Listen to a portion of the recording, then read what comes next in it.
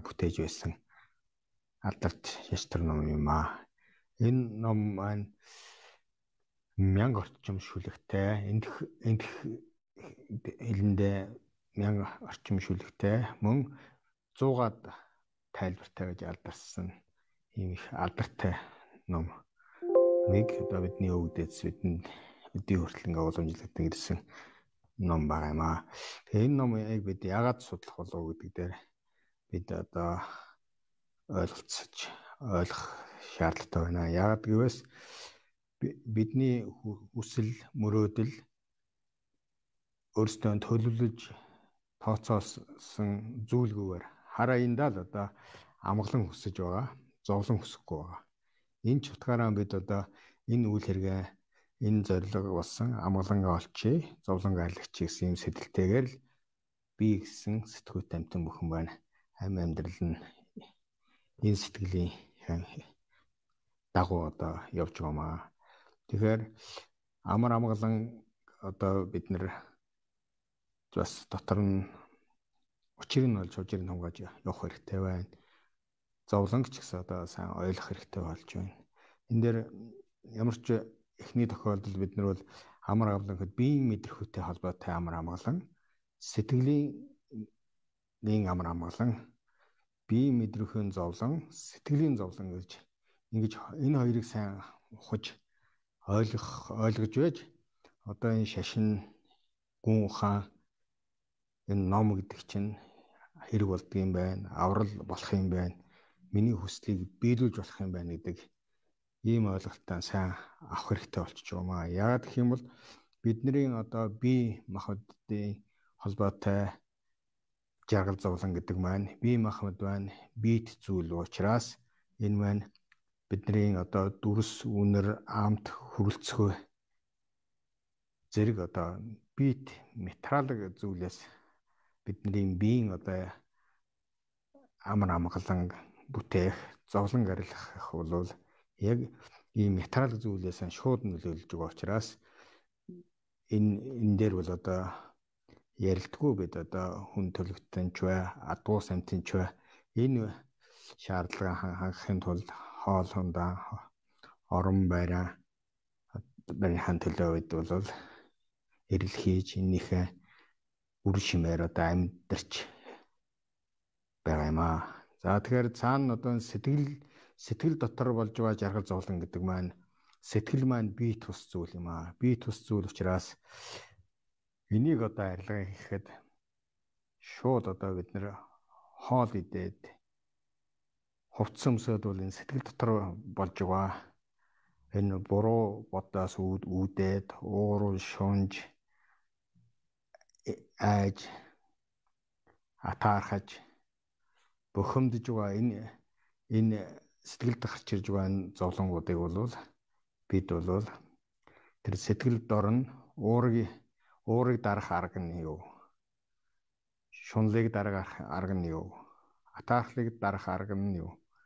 Энэ бүгдийг танин мэдэж энэ бүгдийг хортой хөнөөлтөйг мэдээд дарах ерөндөгийн тустай гэдгийг мэдэж муу сэтгэлийг зовоож байгаа энэ бодлуудыг ямар шалтгаан нөхцлөөс нь гарч байна гэдгийг судалгаа шинжилгээ хийгээд тухайн ямарваа юмс маань шалтгаан нөхцлөөс болж хамаа хамаарч түүний үр дүнд тухайн үр дүн гарч болохоор сайн сайхан гадаад орчин дээрч дотоод сэтгэлийн орчин дээрч сайн сайхан бүтээх гэж бол мөн одоо тэр сайн сайхан зүйл маань юунаас бүтдгийг ямар шалтгаан нөхцлөөс хамаардгийг учрыг мэдэж бүтээ бүтээн. А бидний зовоогоод байгаа зовлонгууд юунаас гардаг? Тэр шалтгаан нөхцөлийг мэдээд шалтгаан нөхцөлийн дээр нь одоо энийг арилгах энийг хориглох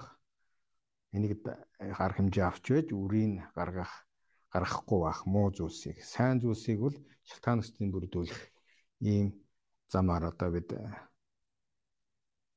оюун бодлын одоо шинжилэн шинжилэн задлах ухаанаа ашиглаж хүн төрөлхтөн маань энэ шашин ном гэдэг маань хэрэг болох болох учраас энэ дээр бид сайхан тухлан одоо бодол санаагаа одуулж өөрийн дотоод сэтгэл сэтгэлээс гараад байгаа зовлонг арилгах дотоод сэтгэлийн талаас амар амгаланг бүтээхэд чухалчлах зүйтэй болж байгаа маа. Тэгээд тухайн хүм хүн нэг одоо сайн муу гэхэд тэр хүний сайн муу сайн үйлдэл хийхээр сайн хүн юм аа.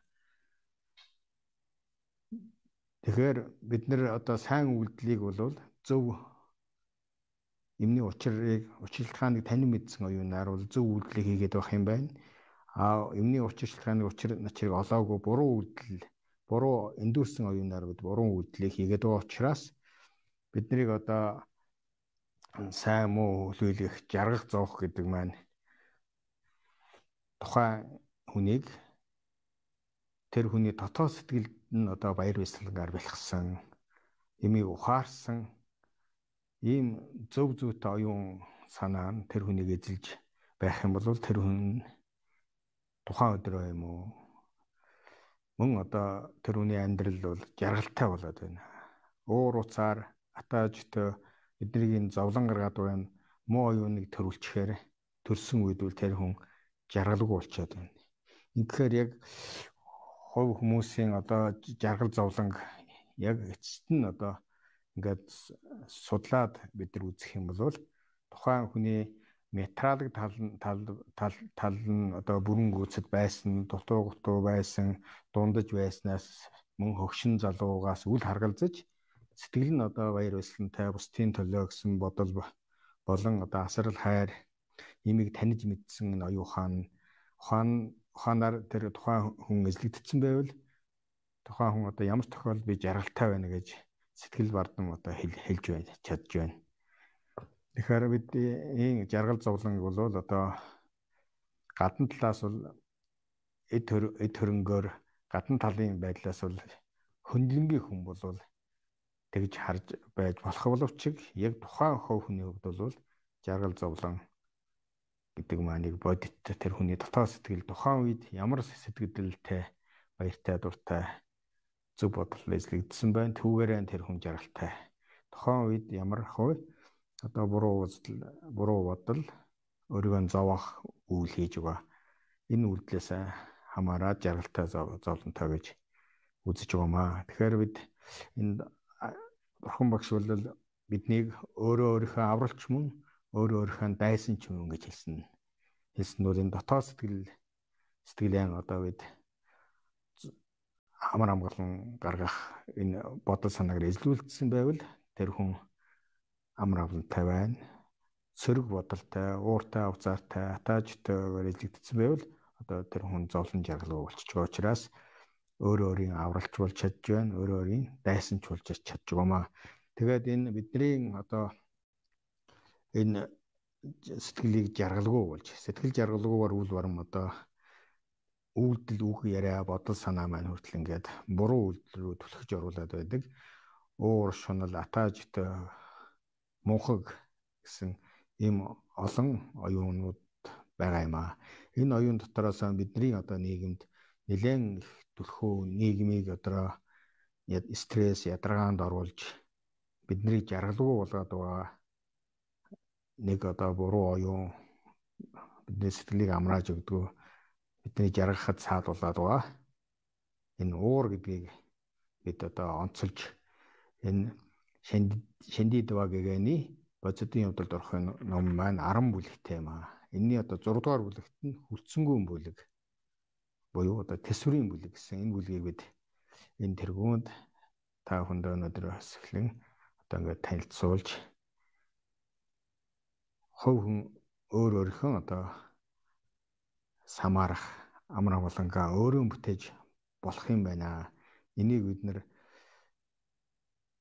Эрдэм номыг ирхшээсэн энэ зам мөрийг зааж өгчихсэн энэ эрдэмтдийн айл дуруудыг дагаад судалж өрөх юм бол бид өөрхийн хэмжээнд одоо амар амгалангаа бүтээх боломж энэ бүрэн дүрэн байгаа учраас энийг маань ямар ч үндэстэн ямар ч шашны хүн байсан тэр уур хэрэггүй уураас үүдэлтэй гимт хэрэг зовлон зүдгэрэг арилгах зайлшгүй шаардлагатай учраас хэмбуач одоо судалж ураад өөр өөрхөө төвшөнд одоо амар амгалан автай зовлонгоос салах бүрэн болцоотой ном байгаа юм аа. За ингээд бид энэ номынхаа 6 дугаар бүлгээс одоо ингээд шүлэг үг мөрөөнийг стараар нь тайлбарлаад ингээд явчих юм учраас э, одоо номын үгсгийг ингээд камерт харагдуулаад явах болно. Өн удаа мянган галуу тураасан өглөг хийгээд сайвар ажилчдыг дагсан тэргүүтэн үйл сайн буян аль бие тэдгээр өхнийч өөрийн ганцхан хилэнгээр даран үлдмөө гэж 6 дугаар бүлэг маань энэ шүлэг номоор эхэлж байна. Бидний бурхан шишний ни одоо он онлоор бидний амьдрал маань одоо урд өмнө ч одоо үргэлж байсан хойшиж үргэлжлэх. Энэ энэ үргэлжил нь бол оюун ухаанаар. Бие махбод бол тухайн бодгалынхаа төрөл ямарваа нэгэн төрөл аваад солигдоод байгаа боловч сэтгэлийн үргэлжлэл маань тасралтгүй ингээд хаваад хойшид явж байгаа болохоор Жишээлбэл бид баг залуу наснда чэйжилсэн ном а баг залуу наснда буруу үйл хийсэн өөр тохиолдсон их үргийг насны идэр дундаа ч юм уу насны эцэс ч гэсэн тэр үрийн намсагтай адилхан энэ насанд хураасан сайн муу үлийн үрийг хойд хойд наснда сайн муу амгалан жаргалан гэн үрийг бол амсч амсч байна. Мөн одоо урд олон төрлүүдийн хийсэн сайн муу үлийн үрийг бид одоо амсч амсан хойшиж ингээ амсаж явж байгаа учраас төрөлд байна эхлэл байхгүй буюу сүнс сэтгэлд бол одоо эхлэл эхлэлгүй гэж үзэж байгаа учраас энэ дээр голлож одоо бие махбодын одоо үндсэн гарал үлдсэн шалтгаан шалтгаанд нь бол бидний эцгийн тусал туслыг тавиад тавьдагтай тавина. Мөн эцгийн тусал туслын одоо гарал үүснэ хаа нөхөр. Мөн өөр тэр эцгийн маань эцгийн туслаас гээд ингээд бие махбод маань биет зүйл учраас энэний одоо үндсэн одоо шалтгаан нөхцөлт нь бол одоо үнэхээр би биет зүйлээс үсээд үсээд явна.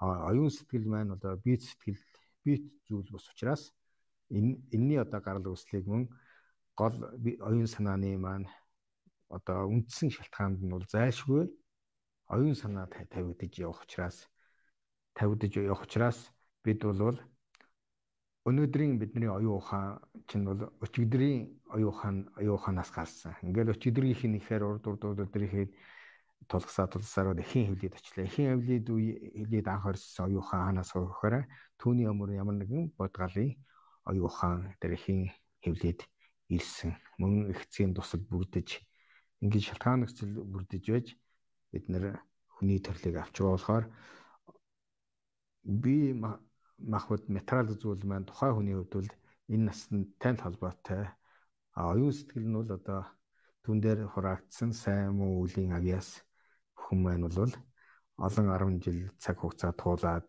хамт яваад байгаа.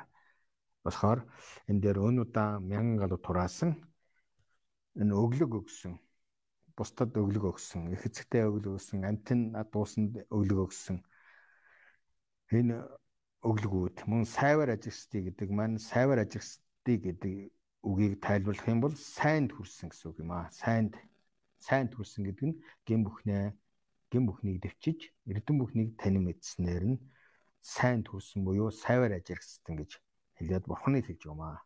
Тэгээ бурхныг тагсан ном чухаг дээдийг тагсан хургийг тагсан тагсан мөн мөргсөн дахил өргсөн илэн цай намжилсан буян даган байсан ном айлтгаж өгөөч гэж хүсэл тавьсан.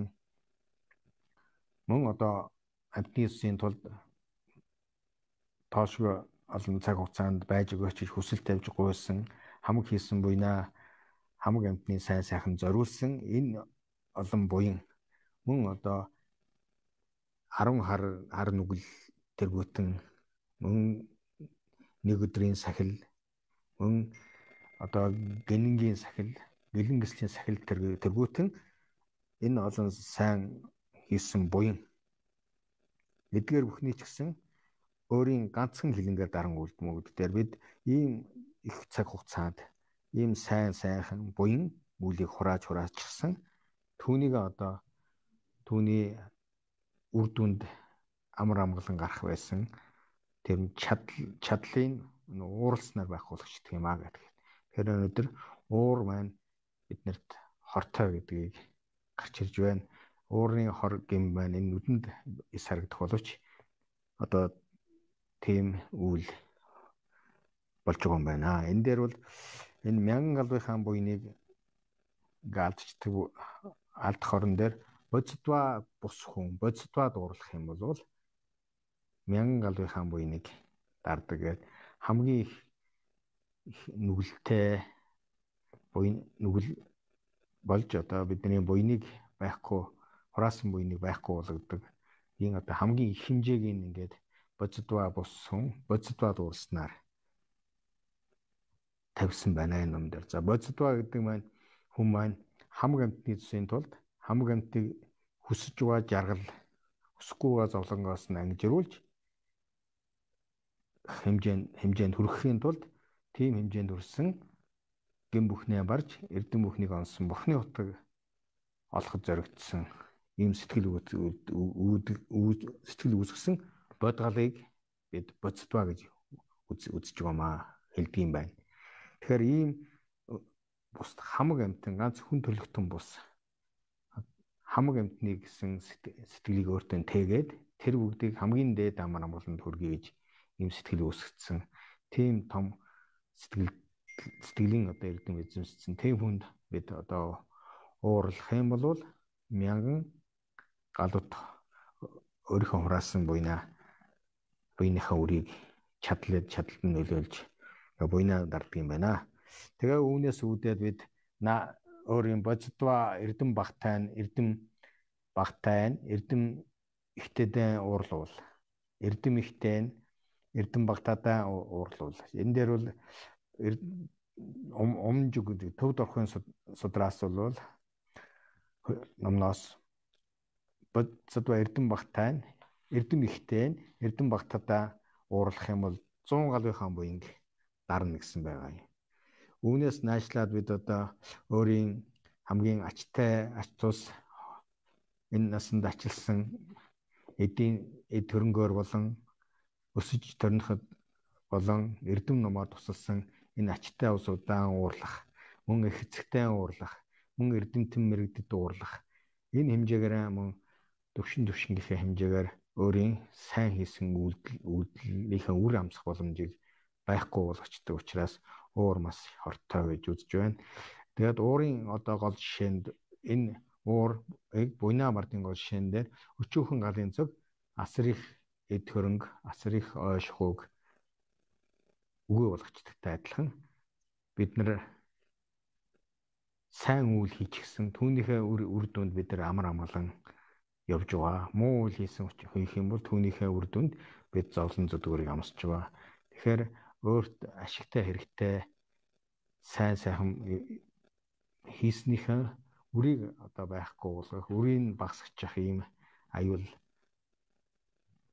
байна. Энэ бол одоо бид нар бид бид одоо өөрсдөө амгалан хүсэж байгаа. Зовлон хүсэхгүй байгаа. Тэгтэл тэр амгалан гаргадаг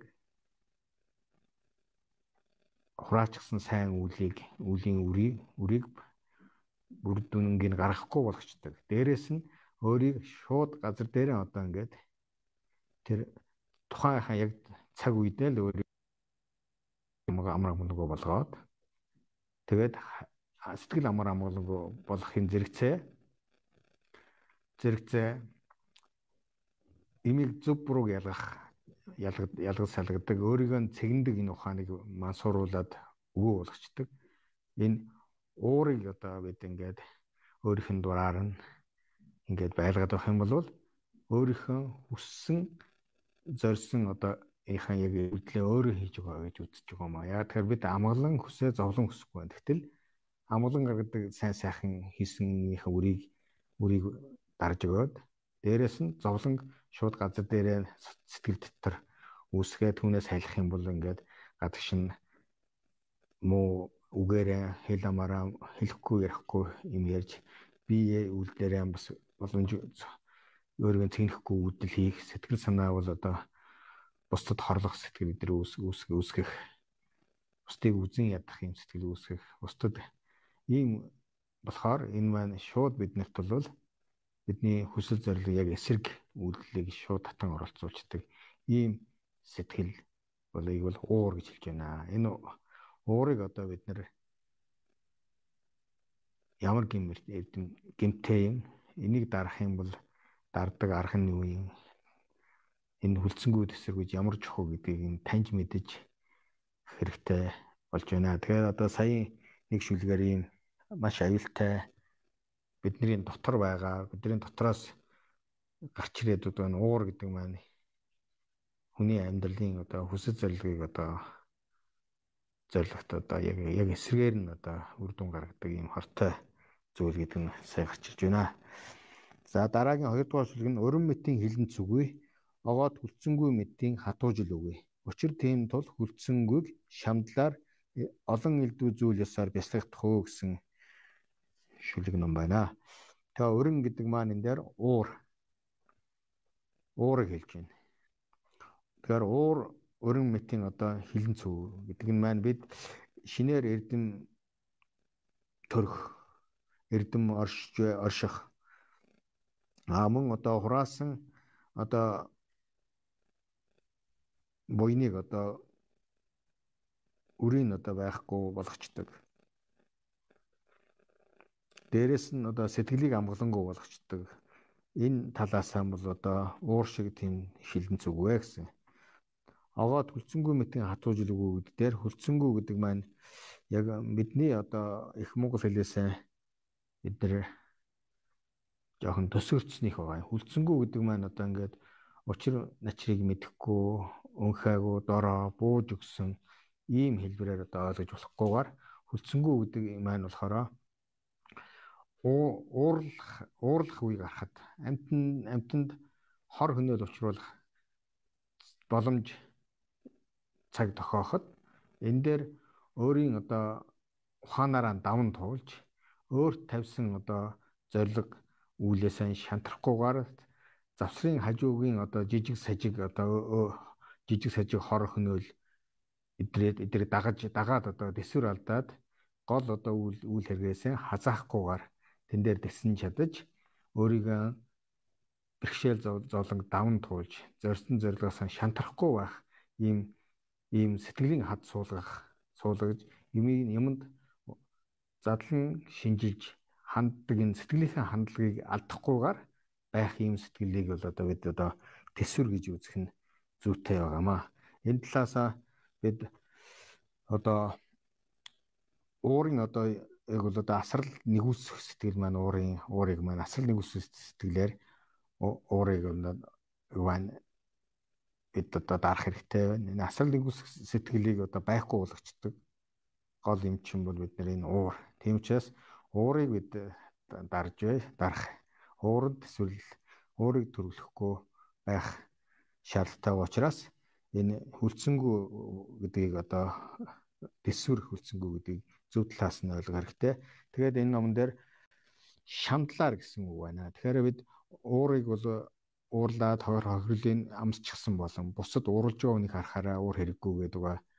Уурал хэрэггүй гэд мэдж байгаа ч гэсэн бид одоо яг өөрийнхөө амьдрал өдөр тутмынхаа юмдууд яах чарга байхгүй одоо уурын эрхэнд автчихсан үг яриа ярьцсан үйлд хийчихэд байгаамаа. Тэм учраас уур хэрэггүй шүү. Уур байхгүй утгаа гэд уур хэрэггүй уур байхгүй утгаа гэж ингэж ийм хүсэл бодол төрчихсөн дэх утгаа гэж ингээ бодоод байснараа энэ уур бол арилчихгүй юм байна. Уурыг байхгүй болоосаа гэд бодоод хэрэггүй гэж бодсон төдийгээр одоо бид уурыг арилгаж чадахгүй юм байна. Тэгэхээр уур гэдэг маань ямар их хор хөнөөлттэй вүлээ. Уур одоо юу юм уур маань заримдаа бид уур төрөө заримдаа уур төрөхгүй болохоор энэ бол мөнхөс юм байна мөнхөс юм байна гэдэг чинь шалтгаан нөхцөлийн эрхэнд юм байдаг юм байна. Шалтгаан нөхцөлийн эрхэнд байгаа юмыг бол байгаа учраас тэр юмыг юунаас хардгийг шалтгаан нөхцөлийн таж мэдээд шалтгаан нөхцөлийн таниад мэдчих юм бол шалтгаан нөхцөлийн бид дээр арга хэмжээ авчих юм бол түүний үрд шалтгаан уурыг гаргадаг шалтгаан нөхцлүүдийг бид нэр хорж чадах юм бол уурыг одоо арилгаж болох боломжтой юм байна. Тэгэд энэ дээр уур гэдэг тодорхой нэг сэтгэл байгаа энэ буруу бодлыг бид нэр арилгах боломж бол яа тэгэхээр биднэрт байнга уур төрөөд байхгүй шалтгаан нөхцөлийн ихээр гараад байгаа болохоор түүний одоо нөлөөлж арилгаж болох юм байна. Энэ арилгахад бид нар болох юм байна гэдэг ойлголтыг аваад тэгээд уурыг арилгахын хин тулд одоо судалгаа шинжилгээ хийж тэр уураа танин танин мэдээж уурын ерөндөгүүдийг анхааран авч уурын одоо шалтгаан нөхцөлийг дарах дарах юм бол түүний үр дүнд шалтгаан нөхцөл уур гаргаад байгаа тэр бидний биднэрт байгаа уурын шалтгаан нөхцлүүд бас нь дотоод бодолд байгаа энэ буруу бодлуудыг дарж чадах юм бол шалтгаан байхгүй үр дүн уурд байхгүй болох талаасаа энэ дэсврийн оюуныг улам их хүчтэй. Дэсврийн оюун маань хэр чинээ их эзэмшиж хүч чадал нэмэгдэн төдий чинээ энэ уурын төрхийн одоо шалтгаан нөхцлүүд нь төдий чинь одоо хүчин саарад байхгүй болох замаар одоо бид уурыг дарах учраас энэ дээр шамдаж хичээгээд элдв олон зүйл ясарагдана олон учир шалтгаан олон талаас нь одоо бид нэр энэ уурыг уурыг арилгах аргыг арга одоо энэ төсвөрийг одоо бяцлах хэрэгтэй байна. Тэгэхээр бид бүгд маань энэ номыг маань төсвөрийг одоо бяцлах ёстой болчиход байгаа маа. Бяцлал яагаад бяцлах ёстой болов гэхээр энэ дээр бид ер нь одоо хүний оюун ухаан гадаад талын мэдлэг боловсрол олзчихсан оюун ухааны илүү танин мэдэж тухайн юмныхаа эндүрэл андуурлыг ялгаж салгаж байх юм бол тэр чинээгээр тэр хүний хүний одоо тухайн үйлийг хийхэд амжилттай зорьсон хэрэгэн бүтээдэгтэй адилхан яг энэ оюун ухаанд таталчихсан бид энэ оюун ухааны мэдлэг сэтгэлээ танин мэд хэрчнээ сэтгэлийг танин мэдэж сэтгэлд нөхөрлчээд байгаа сэтгэл дотор нөлөөлөд байгаа нь буруу бодлуудыг бас танин мэдэж зөв бодлуудыг танин мэдэж мэдхийн үүднээс буруу бодлуудын яг ерөндөг харгалдаа харгалзах харгалдах ерөндөг болсон зөв бодлуудыг түлхүү одоо бид нар хэрзинэ эзэмшин энэ хэмжээгээр бидний дотоод сэтгэлд дотоод сэтгэлд амар амгалангаа бүтэх юм а. Тэгэхээр амар амгалан гэдэг маань биеийн одоо амар амгалан гэж байх нь биеийн мэдрэхүйн амар амгалан гэж байж байгаатай адилхан бид нар сэтгэлийн амар амгалан гэж байна. Тэгэхээр хүн төлөвтөн болон адгуу самтан маань бол гадна талын хамааралтай биеийн амар амгалан бол энэний үр шимийг хүртээд энэгээр одоо өөрийнхөө амар амгалан амьд байх эрүүл байх.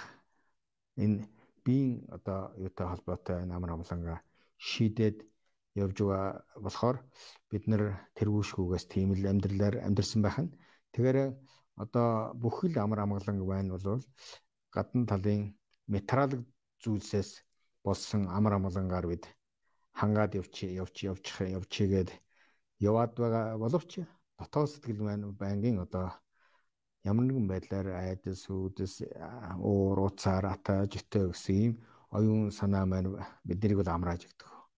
Гадна талын яхан эд хөрөнгө материалаар бидний яг маань бол одоо өссөн хүнд хоол хэрэгтэй шүү дээ. Өөр одоо хоолноос өөр юм бол тэр хүнд шууд тусах юм байхгүй. Тэ адилхан бидний сэтгэл буруу зөрүү юм бодоод ууралж уцаалаад байгаа. Энийг бол одоо хоол хонд ховцсундар өгөөд бидний одоо уур одоо арилж чадахгүй арилж чадахгүй одоо бидний бид нэр одоо амьдралдаа энийг одоо ингээ анзаараад байх юм бол мэдэгдэж ирж байгаа маа. Бид одоо уур шунал атаажтай эдрийг бол хоол ундаар арилгачдаг бол энэ биеийг хоол унд идээд амьд амар амгалан байлга байлгаад байгаатай ч адилхан сэтгэл маань одоо амар амгалан болоод явах хэрэгтэй байсан. Тэгтэл хараахан одоо сэтгэл санааны дотоод талын имийг бол яг дотроос гарч ирж энэ буруу бодлоос үүдлээд гарч ирж байгаа энэ сэтгэлийн энэ зовлон зүтгүүрийг бол бид яг сэтгэл дотроос нь л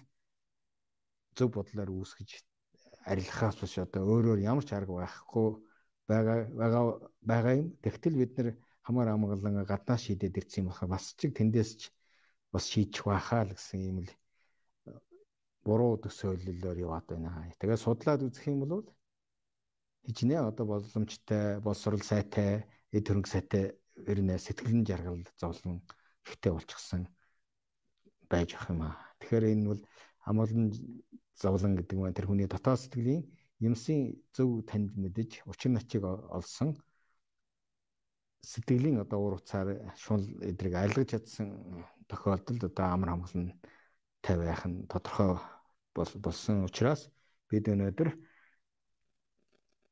энэ номыг болвол үгүй сонсоод учрыг ойлгосны ойлгосны хажуугаар өөрөө бодож санаж ухаан бэлэг үүсгэн бодож сонсож ухаан бэлэг үүсгээд бодож бүр учрыг баттай ноттой мэдэж явсан энэ бэлгүү бэлгүү маань тухайн хүний хүнийг бол бас хараахан бүрэн гүйцэд бол өөрчилж чадахгүй байна. Энэ ном маань нөгөө уур шунал буруу бодлоо сэтгэлээс төрөөд байгаа болохоор энэний ерөндөг болсон төсвөр идрийг өөрийн сэтгэлдээ одоо онож мэдсэн зүйлээ дахин дахин хоногшуул, дадуулж, хэвшүүлж бас яг уурын ерөндөг болгож энийг төрүүлэх хэрэгтэй учраас Бурхны номын маань бясалгах хэрэгтэй гэдэг нь энэ дээр гарч иж байгаа маа. Бусад зүйлс маань одоо сонсоод учрыг нь олоод санаж бодоод учрыг нь олж мэдэж авсан бэлгүүн байхад болч болж байхад а энэ сэтгэлээс төрж байгаа муу бодлуудыг арилгахын ерөндөг болсон энэ эрдэмүүд буюу энэ төсврийг жишээлбэл зайлшгүй гэд ойлгож ойлгоо зогсохгүй одоо дадуулж өөртөө төрүүлж байж энэ төсврийн зөв бодлоо төрж байж биднэрт уурын уур болон уурын одоо үүсгдэг шалтгаанууд нөлөөлнөхөөс биш ойлгоцсон төдийгээр хангалтгүй учраас энэ ном маань бяцлах хэрэгтэй гэж гарсан байх шүү. За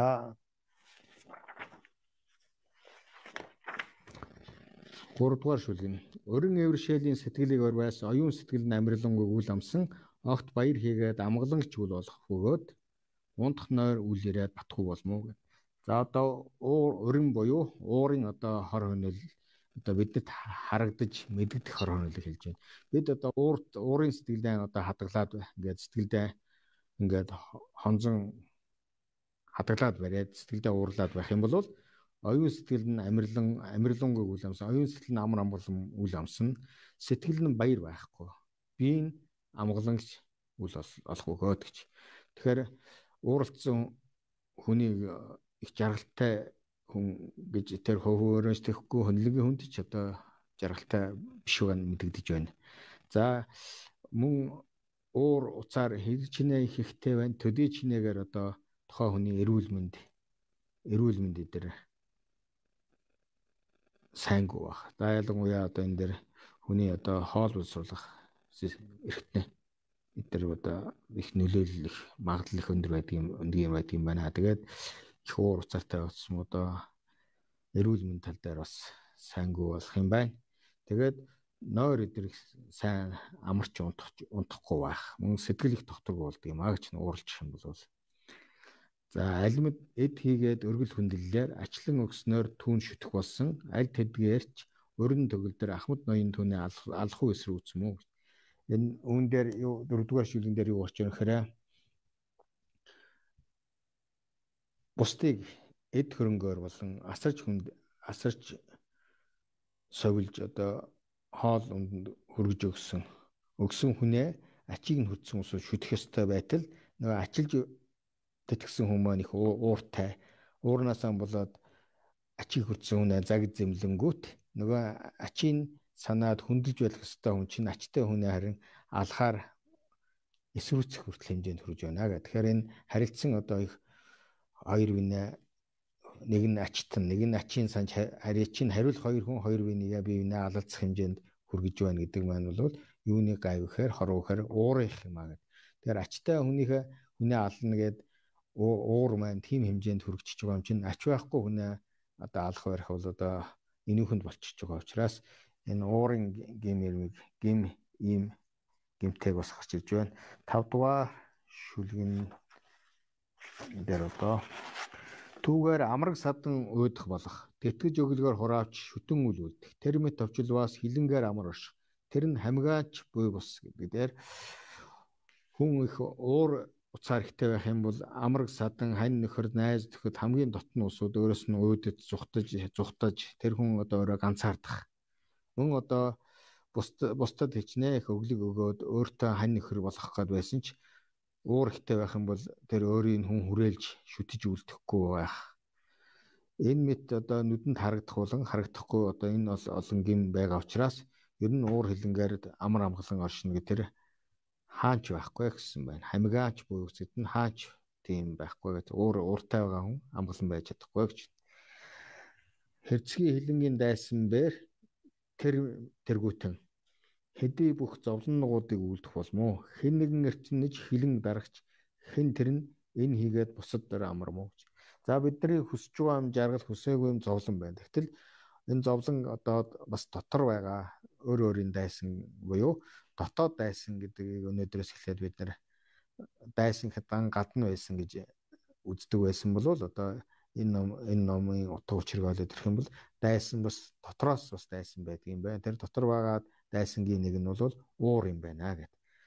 Тэгэхээр энэ дотоод дайсан ингээд үзэх нэ. Тэгээд энэ дотоод дайсан уурыг уур одоо тэр тэр тэргүүтэн гэдээр нүдэнд харагдах харагдахгүй болсон юм хор хөнөөлтэй учраас ийм юм зовлон үлдэж байгаа учраас хэн нэгэн одоо эрчимнэж хичээж одоо уурыг дарах одоо дэсвэр хөлцөнгөө одоо эрдмийг мэдэж дурдж өөрийнх нь одоо сэтгэлийг хянах. Дурдл хянах сэтгэл хоёроор одоо энэ уурыг дарж чадах юм бол тухайн хүн даруйдаанч амар амгалан эцэс хойдоонч амар амгалан энэ насандаа ч амар амгалан хойд насандаа ч аснуудаа амар амгалан байна гэж альцсан байна. За ингээд уурын хор хөнөөлийг бид одоо үзлээ. Одоо уурын шалтгаан уурын одоо гол үндсэн шалтгаан шалтгаанд нь шууд үндсэн шалтгаанд нь юу тавих вэ гэдгийг одоо гарч ирж байна. Уур юунаас үүсдэг юм бэ гэд. Огоод үл хүсгийг үлдсэн хийгээд хүссний уршиг дотор болсноос гарсан оюун сэтгэл амаргүй идэг олоод өрн дэлгэрч өөрөгдөр муу гэж. Тэгэхээр уур юунаас хүрдэг гэхээр оюун сэтгэл амаргүй идэ гэж уурыг бол дайсан гэж үзээд түүний шалтгаан гол шалтгаан амар сэтгэл амаргүйг идэ хоолно гэж үзэж үлгэр утгын цогцолдуулж ингэж альцсан байна. Тэгэхээр оюун сэтгэл амаргүй идэ буюу одоо бидний хэрэг шууд ойлгоход дургу хөрөх. Дургу хөрөхөөс болж уур хүрдэг юм байна оюун сэтгэл амар амаргүй идээг олоод гэдэг нь дургуун хөрх хөрөө хүрээд тэгээд уур төрч намаад ард юм дөө дургуун хөрх юунаас ардын гэхээр үл бидний одоо үл хүссэн юмыг үлдэх хүссэн хүсэж байгаа юмд саадуулснаас болсноос болоод дургуун хүрдэг юм байна. Тэгээд дургуун хөрх юм бол уур үснэ. Тэгэхээр өнөөдөр бид нэр өөрийн одоо ангаахын одоо эмч хүн бол одоо биеийн одоо зохион байгуул бүтцийг бол нарийн ширийн үздтэй адилхан одоо энэ бурхан шинтэн хүн буюу энэ сэтгэлийг одоо талаас одоо амар амгалан бүтээх зовлонгаа арилгая гэж сонирхсан ямар ч одоо шашинтан хүн бай. Одоо энэ оюун ухаан гэдэг сэтгэл зүй гэдэг дээр одоо бас судлаад ирэхээр сэтгэл дотор нь уур гэж нэг юм бай. Аюултай юм байдаг юм байна гэж энэ зүгээр одоо хөрч өөрчлөлгүй зүйл бас шалтгаанчлан хэрхэнд байдаг юм байна. Энэний шалтгаан гол шалтгаанд нь юу тавьж байгаа гэхээр дургу өрхийг тавьдаг юм байна. Дургу өрх юунаас үүдэл тавихаараа бидний одоо хүсэж байгаа юмд саадуулах, хүсээгүй юм бий болохоор дургу хөрж тэгээ уур гардаг юм байна гэд шалтгааныг хэлж өглөө. За эгүүр тэр мэт биевэр дайсан түүний эдлэх хідээг тэн даран үлдсэвэ. Энэ мэд надад торлохоос энэ дайсанд нь бус үл гэдэг. Энэ 8 дугаар шүлгэнд явж байна. Эгүүрд гэдэг нь үүрд гэсэн утгатай үг байна. За ийм болохоор бивэр дайсан түүний гэдэг дээр дайсан энэ дээр өнөөдөр бид уурыг дайсан гэж байгаа. Уурын дайсан түүний эдлэх хідээ идэ болсон одоо дургу өрхийг даран үлдсэвэ. Ямар тохиол бид одоо дургу өрхийг даран үлдэх хэрэгтэй болж байна. Яг тэгэхээр уур хортой учраас уурыг бол бид одоо байхгүй болоосаа гэж бодсон тэдгээр уур уурaan дарж чадахгүй шүү дээ. Тэгэхээр уурын шалтгааныг таньж мэдээд одоо дургу хөрөх байсан. Дургу хөрхийг төрүүлэхгүй бол уур бол төрөхгүй байх нэ. Тэгэхээр хамгийн их бид нар хийж болох боломжтой тийм аргыг хэлж өгч байна шүү дээ. Одоо дургу үрхэн болчихоо гэж. Дургу үрхэн болчих юм бол уур төрөхгүй болох юм байна. Уур төрөхгүй болох юм бол тэр их эцгээ хүндэлсэн нэс акуулаад одоо хамгийн сайн сайхан амар амгалан гарах энэ буян гэдэг сайн зүйлээ одоо зүйлээ одоо алга болохгүй байхгүй болохгүй эннийхээ өрөөр буян ихтэй байх юм бол бид ямарваа одоо сайн үйлсийг бүтээхэд ерөөсөө гадна талаас хамаарах шалтгаан хэсгийг бүрдүүлчихэд тэр цаад буян байгаа болохоор юмс ерөөсөө амар хэлбэр бүтээд байгаа юм юм болохоор амгалан ирэхэд хамгийн одоо чухал зүйлсийн нэг дарахгүй болчоор бидний зориг үйлж байгаа шүү дээ. Бид амар амгаланг бол да гадна зүйл дээрч хүсэл байна, дотоод сэтгэл дээрч хүсэл байна шүү дээ. Энэ бүгдийн бүгд байна. Өөр өөрийн цохилдох хүчин шалтгаан нөхцлүүд нь бүрдүүлээд энэ бүгдийн цаана бас буян гэж юм байхаар амар хэлбэр бүтээд байгаа маа. Тэгэхээр энэ боломжоо алдахгүй өөрийн хүсэл зорилгыг биелүүлэхэд маш чухал болж байгаа учраас өнөөдөр дургу хөрхийг одоо даран үлдэх хэрэгтэй болж байна. Дургу хөрөхгүй ах сургууль хийх хэрэгтэй юм байна.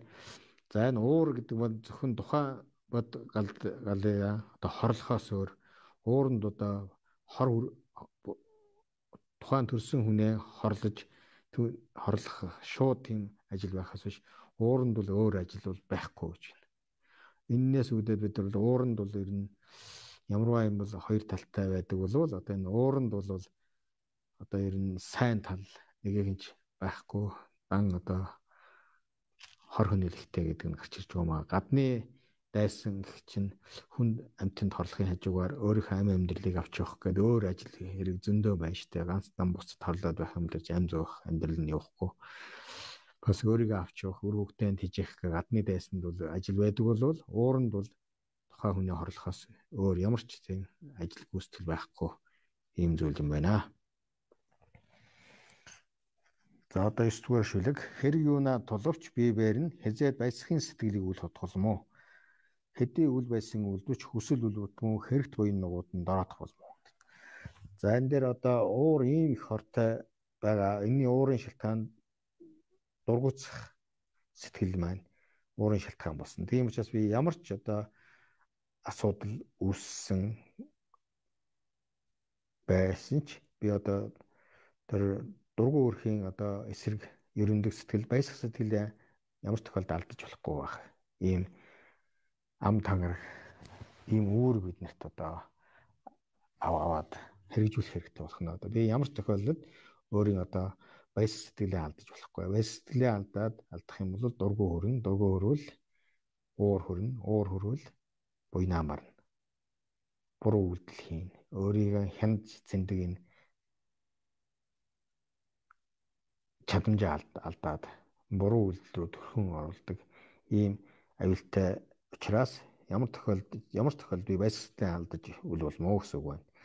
Тэгээд бидний тэр дургуутж үлдснээр хүсэл үлдвэтнэ гэж. Бид бол одоо тэр дургуутсах ямар ч хэрэгтэй биш уур төрүүлчдэг. Дээрээс нь дургуутслаа гэдэг юм бүтээд байгаа юм биш ээ. Тэгэхэд үнэхээр дургуутсаад юм бүтчихдэг бол бид одоо өөр одоо янз бүрийн арга боломж нөхцөл шалтгаан эрэл хийх хэрэггүй юмс болоод байх хэвээр. Тэгтэл дургуутсаад юм хүсэл хүссэн юм бүтнэ. Дээрээс нь дургуутсаас үүдээр уурлаад харин буян нугууд ороотсох юм а гэж байна. Ийм учраас одоо ингээ 10 дугаар бүлэг нь дээр юу гэж хэлэх вэхээр хэрв засагдж болох бөгөөс нь хизээ түүнээ үл бэсэх юм хэрэг. Хэрв засагдах үгүй бөгөөс нь хэдий түүнээ үл бэсээд юу тусламоо гэсэн шүлэг номон дээр болохоор бид нар дургу хурж байгаа юм байна. Нэг бол бол бол засал залаа явж боломжтой юм дээр дургу хүрээд байдаг юм байна. А засал залах ямар ч боломжгүй арга хэмжээ авах боломжгүй тийм юм дээр болцсон юм дээр бид нэр болох болсон болох болох гэж байгаа юм дээр бид нар ингээд дургу хүрээд байдаг юм байна. Тэгэхээр болж бүтчихээр юм дээр одоо тэр үйл байсаад дургу хүрээд юу хэрэг байна гэдэг. Энэ тэгээд дургу хурж байгаа хооронд тэр болгох бүтэх арга хэмжээг нь аваад явчих хэрэгтэй юм байна. За засаж залж болохооргүй нэгэнт одоо болцсон зүйл дээр бол хичнээн үл байсаад буюу дургуутсаад юу туславаа гэж ингэж бодох юм байна. За одоо энэ 11-р шүлгэнд бол юу гарах вэхээр бид нэр уур төрхийн орон юунд дуурлаад байдгийг хэрэг тодорхой юунд дуурлаад байдгийг хэрэг өөрт буюу өөрийн садан нугуудаар үл хүсэх зовлон ба доромжлогдох болон ширүүн үгсийгээд үл өсөх өгөөд өс дайсан түүнээс нэцснаар болоо гэд. За энэ дээр бид нэр өөртөө болон өөрийн хамааралтай дотн дотн амраг одоо садан нөхдүүд татн усуудаа болохоор зовлон өсдөг юм байна. Мөн одоо эд хөрөнгөө хоосон ядуу зүгээрэн дуудагдаж доромжлогдохыг хүсэхгүй байна. Мөн одоо элдв ширүүн үгс үгс үгсийг зайнуулахыг сонсохгүй өсөхгүй юм байна. Дээрэс нь яруу усыг өсөхгүй гэдэг маань ширүү үсэд маань яг дэргэд нь одоо ингээд заг заг занд зүхэж харахыг хэлж байгаа маань. А яруу ус гэдэг маань өөрийн дэргэд бус өөрөөс тусдаа өөрийн одоо муулж хэлж байгааг бас хүсэхгүй юм байна. Энийг ганцхан өөр дөр бус өөрийн одоо татны улсууд дээр бас энэ дөрвөөр хүсдэг. А өөрийн дайсанд бол харин түүнээс няцснаар болно гэдэг чинь дайсандаа бол одоо зовлон хүсэх хүсэх мөн одоо ядуу зүдүүгээс болоод оромжлуудад их хүсэх одоо ширүүн үгийг хүсэх яруу ус байхыг бол дайсандаа үсээд өөртөө болон өөрийн хамааралтай усуудаа хүсдэг. Энэ бодол бид нартай ерөөсөө байж байна. Тэгэхээр энэ дээр бид юу гарах гэхээр ус үхээр энэ өөрт харин дөрвөн хүсдэг зүйл байна. Өөрийн саданд бол дөрвөн хүсдэг зүйл байна. Ингээд 8. Тэгэхээр дайсанд бол ингээд эсэргээр нь хүсдэг. Ингээд энэ маань 8 дээр саяын дайсан тэгээд 12 зүйл болж байна. 12 зүйл. Энэ дээр одоо нэмээд бас дараагийнх нь нэмээд хэлчихвэл мөн одоо энэний эсрэг дөрвөн зүйлийг бол хүснэ гээд. Энэ дээр нэмж хэлчихье. Одоо өөрт бол зовлонгийн оронд амгалан жаргалан хүснэ. За доромжлогт гэдэг нь одоо ядуу зүдүүгээр доромжлогдох оронд одоо эд хөрөнгөтэй байх, доромжлогт эд хөрөнгөтэй байхыг хүснэ. За мөн одоо ширүүн үгийсийн оронд одоо магтуулахыг хүснэ. Яруу усын оронд магтуул яруу алдрыг ингээд хүснэ. Өөртөө бол өөрийн хамааралтай хүнд энэ дөрвийг хүсээд дайсанд бол энэ дөрвийг хүсэхгүй гэдэг. Ингээд бас бас ингээ 12 зүйл болчихж байгаа хөө. Ингээд энэ ном маань номын хэлээр бол ертөнцийн 8 ном гэдэг. Дахин хэлэхэд одоо зовлон жаргалан олцтой олзгүй муучлуулах, магтуулах. Яруу алдартай гээд яруу ус гэсэн ийм 8 зүйл байгаамаа. Тэгээд өөрийн бол өөрийн хамааралтай хамааралтай дамл хүсээд байгаа юмаа дайсандаа хүсэхгүй. Өөртөө хүсэхгүй байгаамаа дайсанд хүснэ гэдэг ингээд нийт бидний уур төрхийн оронд 24 юм болчихж байна. 24 орныг одоо 3 цаг дээр цаг дээр холбож ирэхээр 72 зүйл дээр одоо бидний өдөр тутмын анд энэ бодол санаа байна. Одоо баясах, баясах, баясах, дургуутсах, уурлах, гомдох, атаарах, читэрх гэсэн одоо ингээд оюун бодол маань одоо ийм 72 оронтой хамааралтайгаар бид бид одоо ингээд оюун сэтгэл маань одоо амар амгалангүй болдго юм байна. Тэгэхээр энэ 72 одоо бидний уур шунал юунаас гарав гэхээр энэ 72 орноос хамааралтайгаар энэ 72-ыг одоо бодиттой тохиолдно уу, тохиолдохгүй байна уу? өнгөрсөн цагийн дээр цагийн маа нөхөж авцраад бодчих ирээдүйн цагийн юмыг өөрчилж одоо тэгчих болов ингэчих болов гэдгээс үүдэлтэйгээр мөн одоо цаг дээр өрнөл өрнөлөөрөө ингээд бидний дургу өрхийн орон маань одоо ингээд уур төрхийн маань одоо ингээд 72 болж байгаа юм шүү.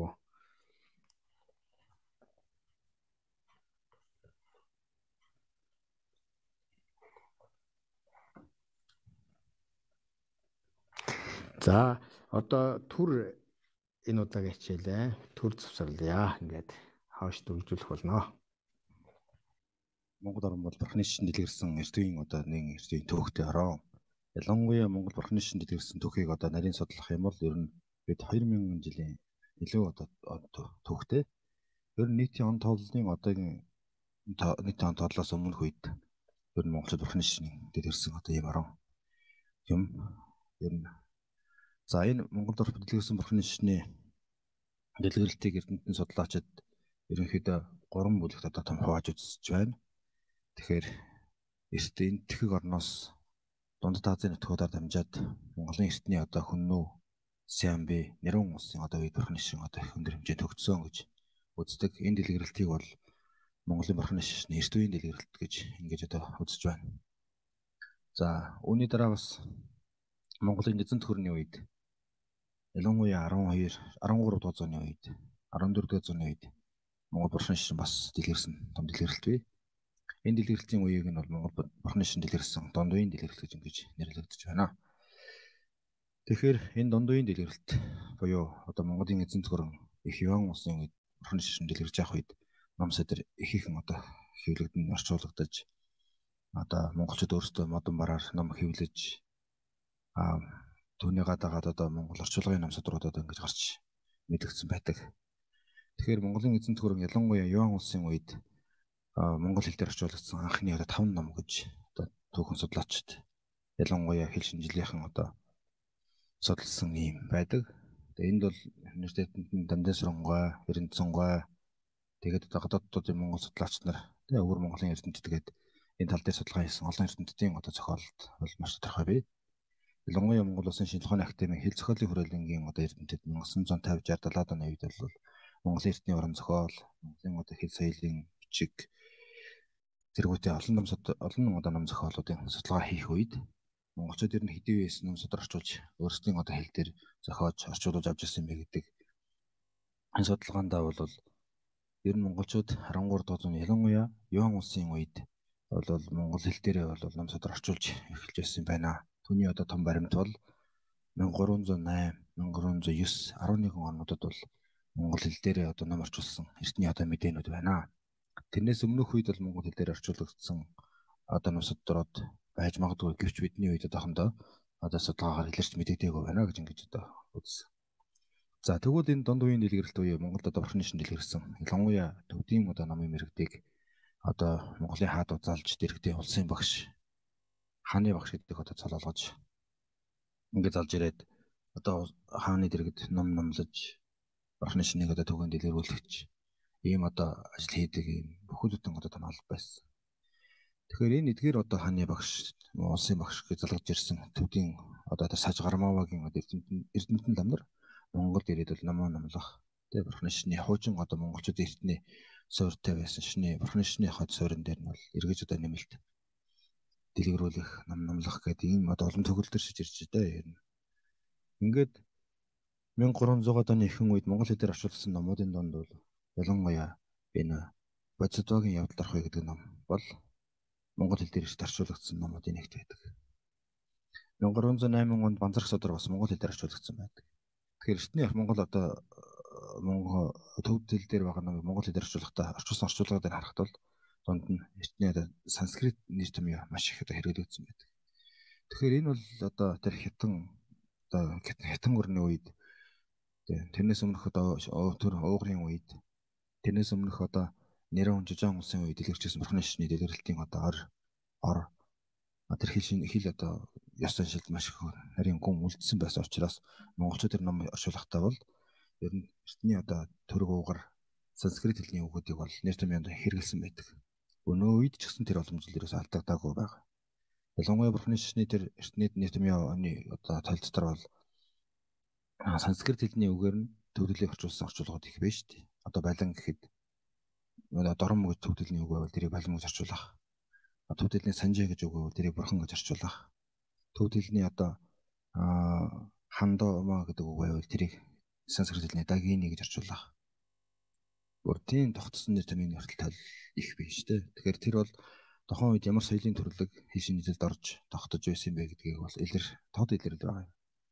За ингээд бол Бодисдвагийн явдал орох гэдэг ном бол Яон улсын үед буян тааны үед бол Монгол хэлээр орчуулж их Яон улсын үед модон бараар хэвлэгдсэн байна гэж Альбестаар одоо сурвалж судлаач бичгийн мэрэгдийн донд ус нэлээд алдарсан. Ингээд энэ дотор бол энэ Бодисдвагийн явдал орох гэдэг номыг бол ер нь орны шинтэн орнууд ялангуяа их хөлгөний одоо уламжлалт орнууд бол маш их үзэн судалдаг.